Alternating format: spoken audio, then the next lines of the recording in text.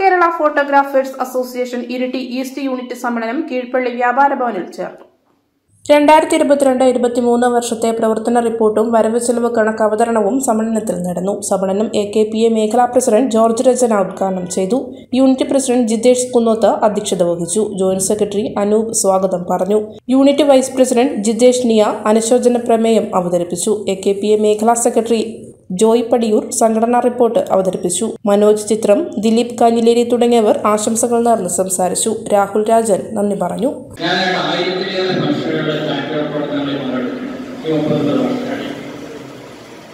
ഒന്നും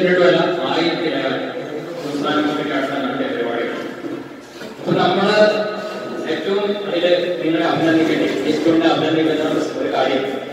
കഴിഞ്ഞ പ്രാവശ്യം നടത്തിയ പൂക്കളം അമ്മയ്ക്കൊരു പൂക്കളം എന്ന പരിപാടി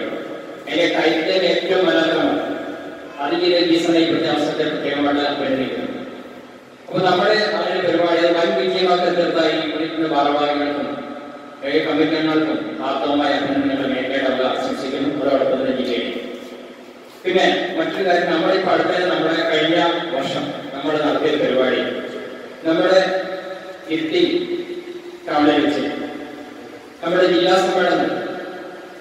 നമ്മളെ സംബന്ധിച്ചോളം ഏറെ അഭിമാനകരമായ സംഭവമാണ്. കാരണം മൂന്നാമത്തെ വർഷത്തെ വികാസമ്മേളനമാണ് എഴുതി നടന്നത് പത്ത് വർഷം കഴിഞ്ഞാൽ ഒരു ജില്ലയ്ക്ക് സമ്മേളനം സ്ഥാപിക്കുന്നത്